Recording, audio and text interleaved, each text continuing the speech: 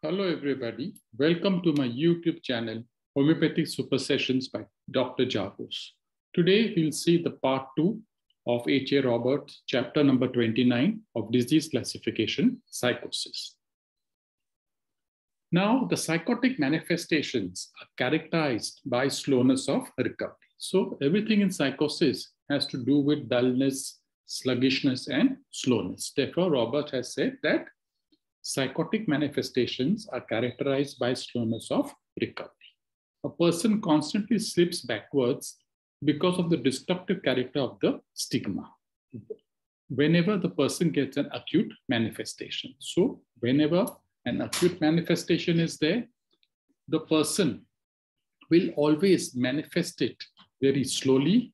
The onset will be insidious, it will be slow, it will be sluggish. It is because of the stigma which the person holds at the background of sycosis. Now, on the mental front, the person is very suspicious. So, suspiciousness is another hallmark of the sycotic miasm. He cannot trust himself. He goes back and repeats what he has done or said. So, he's, he's very suspicious. The person cannot trust himself.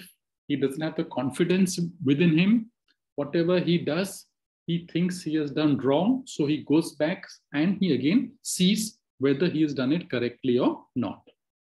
He thinks that the other person has misunderstood and he'll give the wrong meaning to what he's attempting to convey. He also thinks that when he's talking with the other person, the opposite person has not understood properly, or basically he has misunderstood it, and he may give the wrong meaning to what he actually has to say.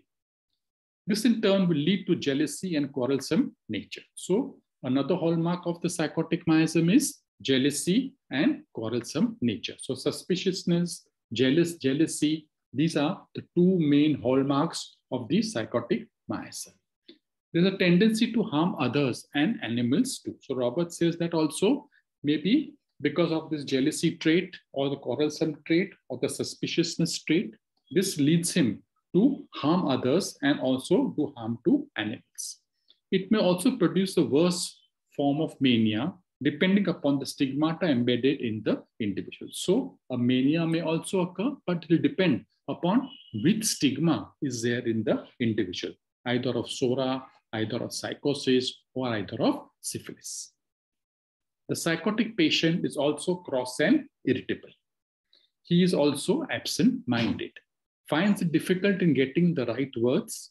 While writing also, the written words seem to appear wrong. So in writing also is a problem and he cannot write or what he's written, he's, he seems that he has written it wrongly. And whatever he wants to write, he finds it difficult for him to find the right words to express himself. But the memory is good for past events and forgets recent happenings slow mental power. So there is, there is slowness, there is sluggishness, both on the mental level as well as on the physical level. The memory is poor, especially for recent events.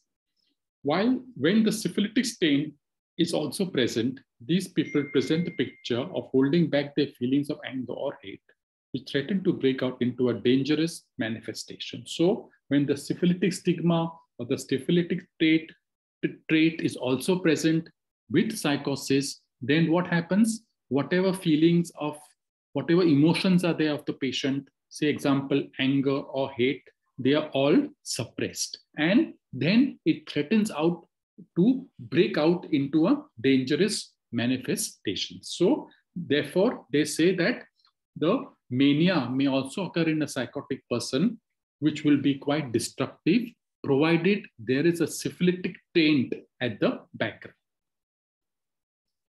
the sycotic person feels better by abnormal discharges. This is a very important modality of sycotic. He feels better by abnormal discharges. The psora, the psoric person feels better by normal discharges or are aggravated when the abnormal discharges are suppressed. Or so the, the, naturally, if the patient feels better by abnormal discharge, then if the abnormal discharges are suppressed, the patient becomes aggravated.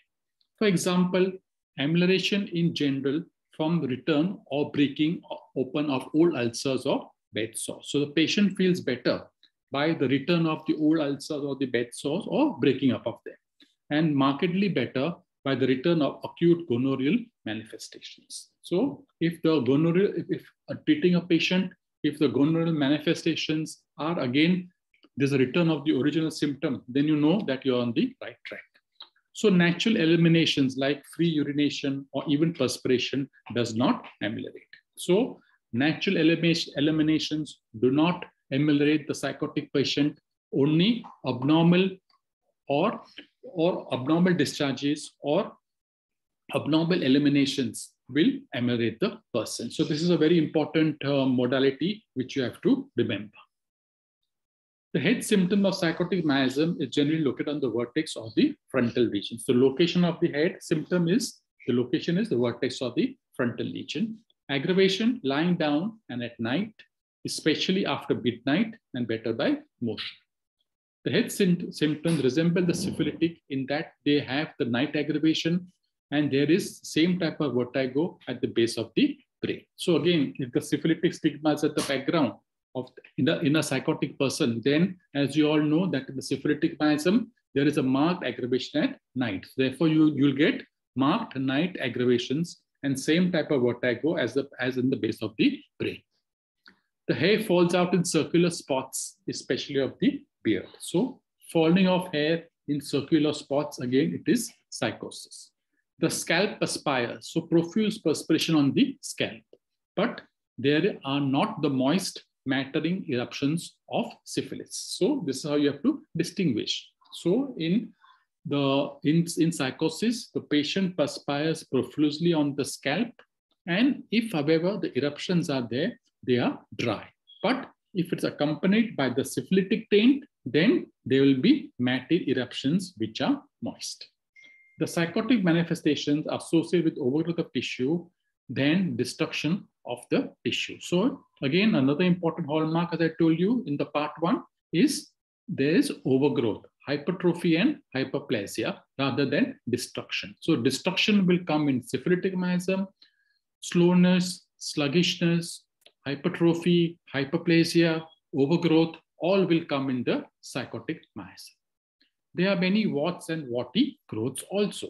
So warts, papilloma, sebaceous all these are another examples of the sycotic miasm.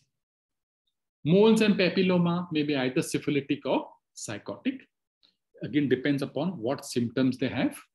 Deposits of gouty concretions characterize the stigma. So there's a deposit of gout or gouty concretions, which, which are characteristic of this stigma. The eye neuralgias are aggravated on change of weather, aggravated by change of the barometer or the rainy weather. Another important modality is also in, in sycosis is aggravated by the rainy weather. So therefore, we say that the sycotic person patient has the hydrogenoid type of constitution. That means what? He's aggravated in the rainy season, cannot tolerate moisture, cannot tolerate staying near the seashore, or cannot even eat the plants, rather the fruits or vegetables which are grown near the seashore because of this hydrogenoid type of constitution. So this is another important modality of the sycotic miasm also that aggravated by the rainy weather. Nose is generally red with prominent capillaries. There's a loss of smell is there. The turbinates of the nodes are nose are enlarged. Again, enlargement of the turbinates, again, sycotic manifestation. Snuffles of children which are moist but without ulcerations or crusts. So there'll be snuffles of children along with this nose complaints, but they are without any ulcerations or crusts, which will be depictive of the syphilitic miasm. The discharge is purulent, scanty with a fish brine odor. So this is also very important that the odor in the sycotic miasm will be fish brine. That is a sycotic taint and it will be purulent and scanty. So this is a characteristic odor of the sycotic miasm that is fish brine odor. And discharges are generally greenish or greenish yellow in color. So they are more of the green color rather than the yellow color. So greenish yellow or frankly green in color, the discharges. Hay fever conditions are difficult to treat as they are multi-miasmatic. So Roberts says that hay fever is difficult to treat because it may contain all the three miasms, psora, syphilis, and sycosis. The expression is of syphilis and latent sycosis very often with a psoric trait. trait. So it says that in hay fever, the expression is of, is of syphilis and latent sycosis, but very often with a psoric trait. Sycotic patients are prone to rheumatic troubles. So one of the main action of the sycotic miasm will be on the joints. So rheumatic troubles will be very prominent in the sycotic complaints, especially if there has been any attempt to suppress the rheumatic manifestation. So a patient with joint pains are there. If it has been suppressed by local manifestation or by local remedies, by application, by ointments, by massage or whatever it may be, we find the disease travels into the more deeper parts of the body, from the less important parts to the more important parts, from the periphery to the center, that is from the joints to the heart being affected with violent hammering and beating. So again, when the uh, rheumatic troubles are suppressed, then the heart is involved and you get the, and you get rheumatic heart disease, which is associated with the violent hammering and beating. so that's all, friends, for this part. Part three will be coming up soon. So please be stay tuned for more. Thank you so much.